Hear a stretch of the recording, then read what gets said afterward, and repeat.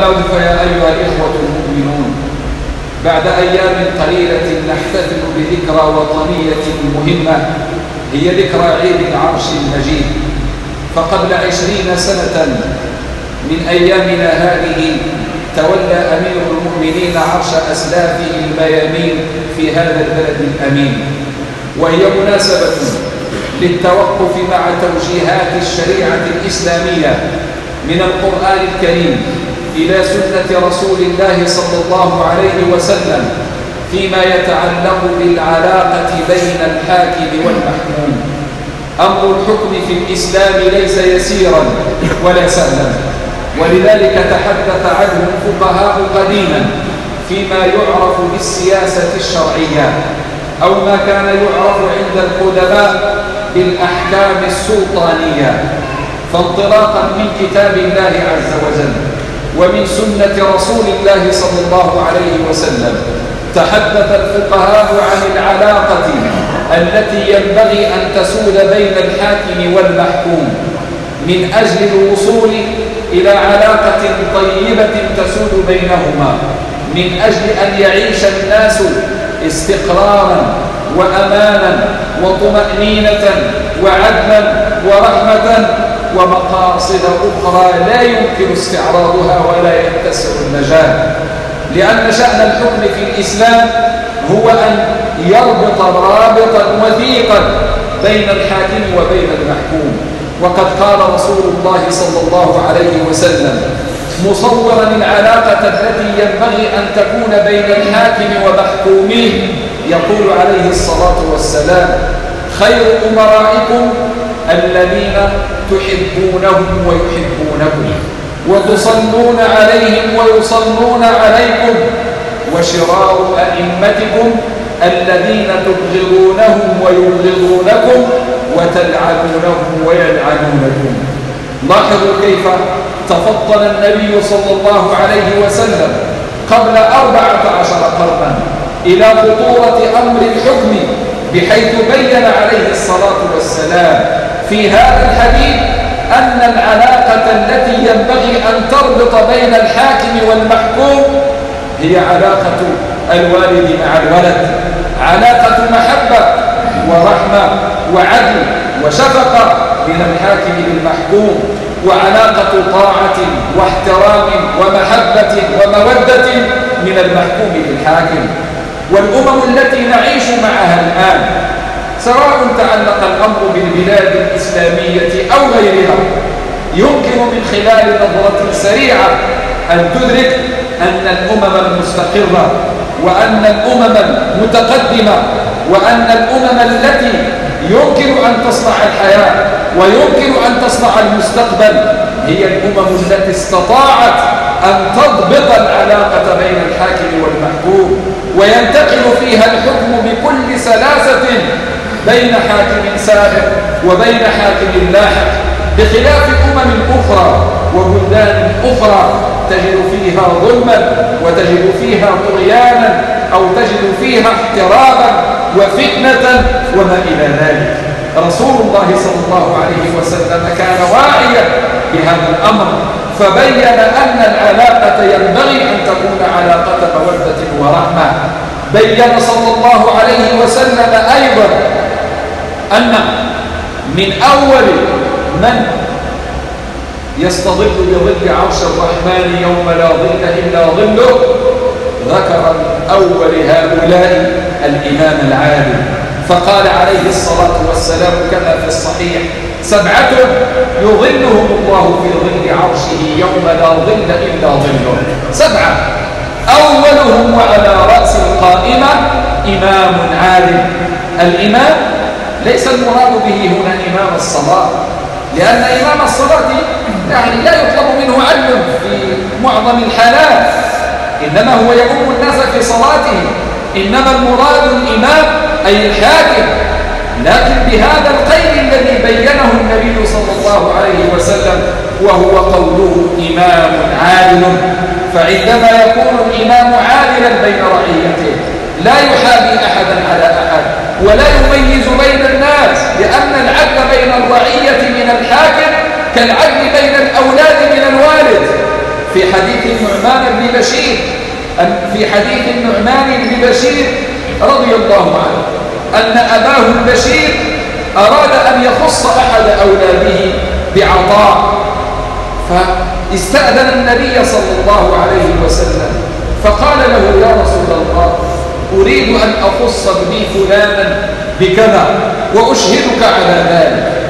فانتبه النبي صلى الله عليه وسلم إلى القيمة العليا التي يرسخها الإسلام بين الحاكم والمحكوم وبين الوالد والأولاد وبين المدير والعمال وبين كل من ولاه الله عملا.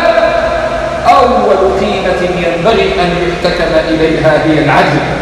إذا ساد العدل في أمة رقت وتقدمت ومضت إلى المستقبل وإذا فشى الظلم وإذا فشت الفرقة والتفرقة بين الناس والتمييز بين الناس وعدم النزاهة بين الناس فمعنى ذلك الخسران. لذلك لم يسكت النبي عليه الصلاة والسلام على هذا الأمر. وإنما قال صلى الله عليه وسلم للبشير أكل بنيك أعطيت مثل ذلك؟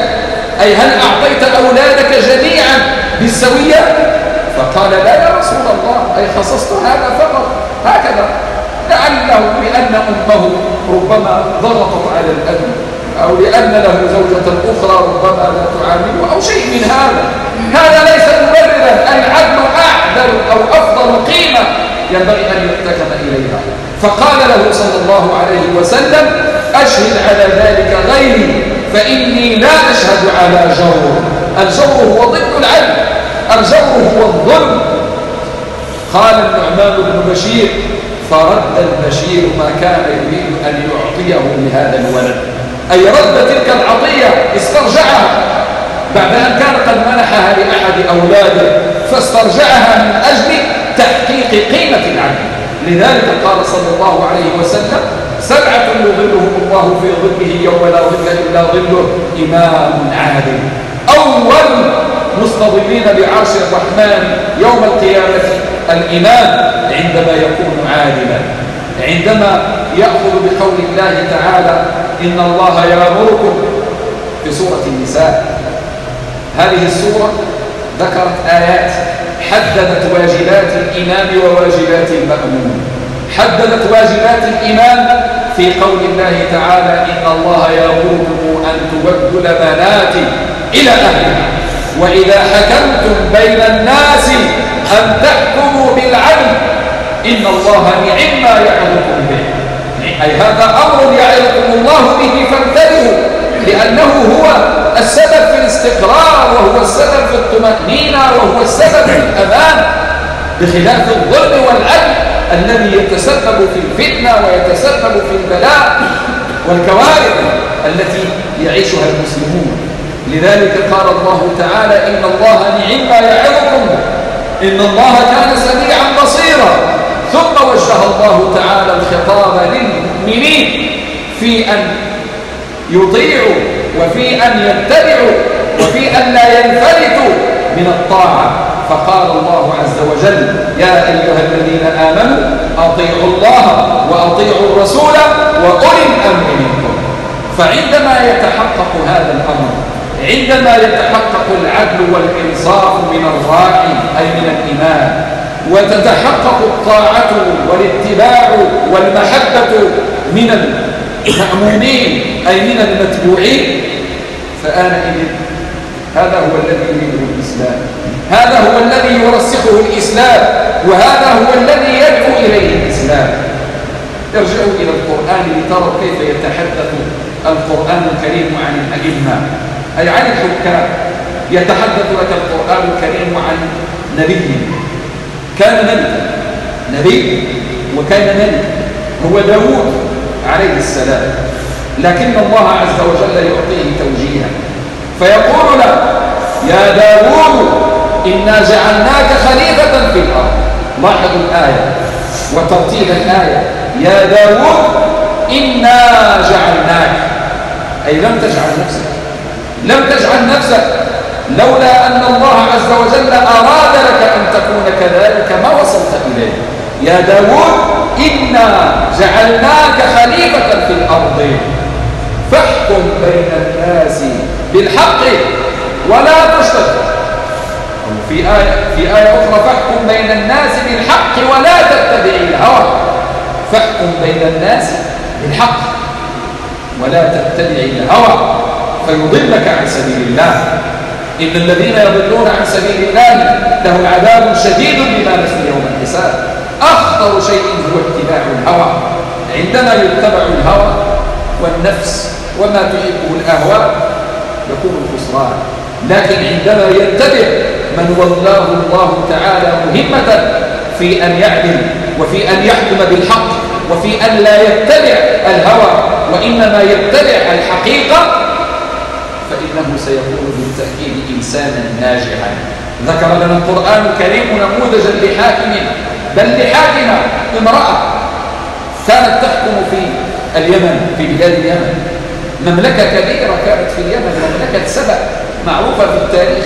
وذكرها القرآن الكريم لقد كان لسبأ في مساكنهم آية جنتان عن يمين أي كان الناس يعيشون رفاهية وكان الناس يعيشون شيئا من الطمأنينة ومن الاستقرار والأمان. وفي مرحلة من المراحل كان لدى مملكة سبأ امرأة حاكمة ولم يسفه القرآن الكريم حكمها. على العكس من ذلك ذكرها القرآن الكريم على أساس أنها نموذج لأنها كانت تأخذ بمبدأ الشورى. عندما وصلتها رسالة سليمان ابن داود عليه السلام وسليمان أيضا ملك ابن ملك ملك من ملوك بني إسرائيل وكان نبيا رسولا. ولقد آتينا داود وسليمان علما وقال الحمد لله الذي فضلنا على كثير من عباده المؤمنين وورث سليمان داود. أي ورث منه الملك فكانت ملكة سبأ في عصر الملك سليمان عليه السلام. لما بعث إليها بالرسالة جمعت القوم وقالت يا أيها الملو أفتوني في أمري. ما كنت قاطعة أمرا حتى تشهدون. عندما يستشير الإنسان عندما يكون الحاكم له مستشارون مؤتمنون يأخذ بآرائهم يستفيد من نصيحتهم وتوجيههم فهذا ليس ضعفا ليس بل العكس هو يضيف عقولا إلى عقله يضيف خبرات إلى خبرته لذلك كانت هذه الملكة في مستوى رائع وذكره القرآن قالت يا أيها الملأ أفتوني في أمري. ما كنت قاطعة أمرا حتى تشهدون. أي لن أتخذ قرارا إلا بعد أن أستشيركم وأن أخذ بالرأي أن آخذ بالرأي الأفضل والأفضل منكم.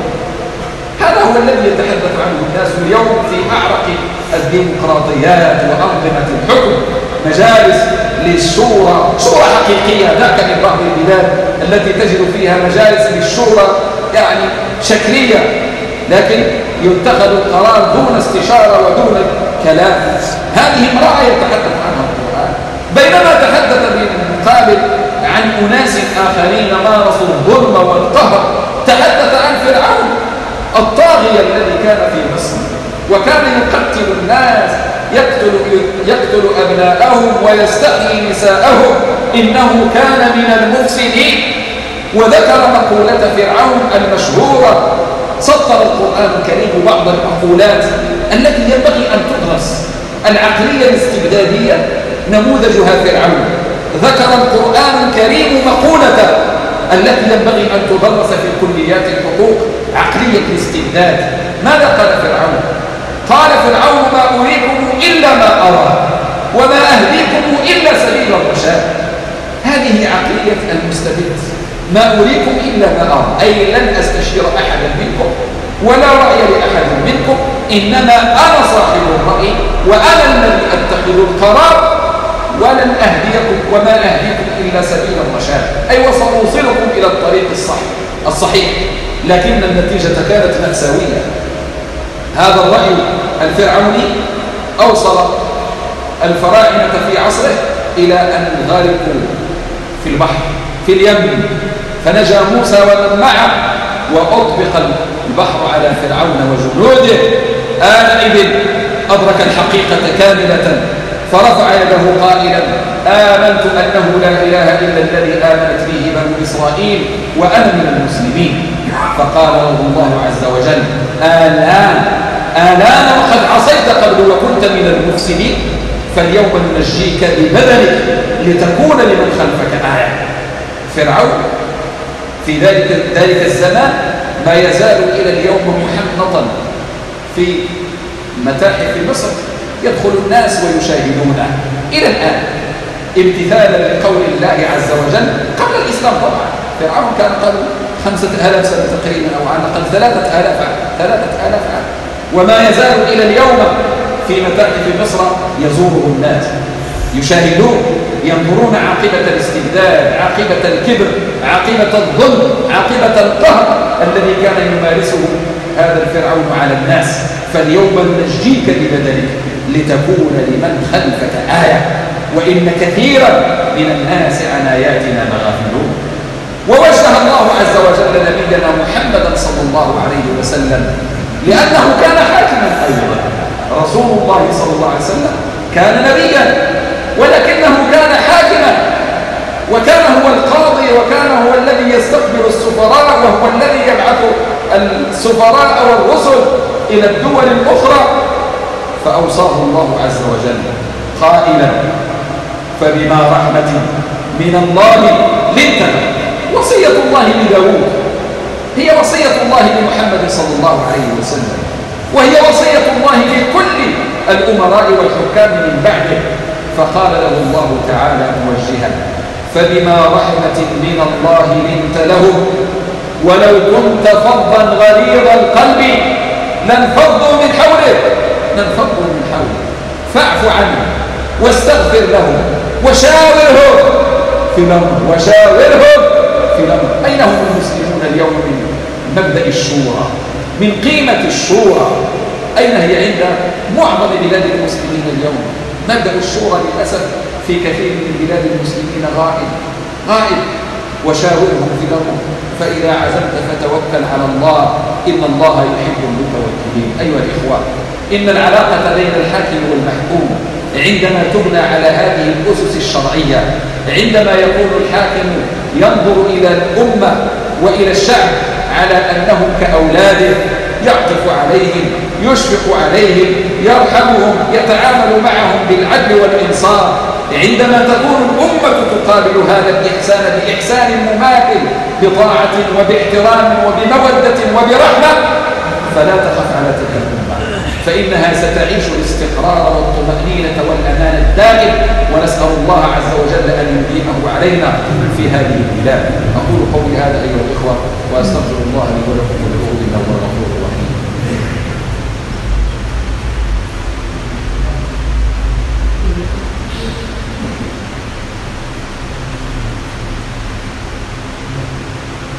الحمد لله غافل الذنب وقابل التوب شديد العقاب.